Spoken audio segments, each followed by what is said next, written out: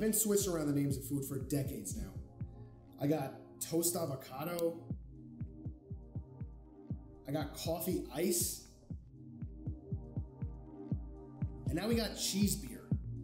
I, I really can't fail.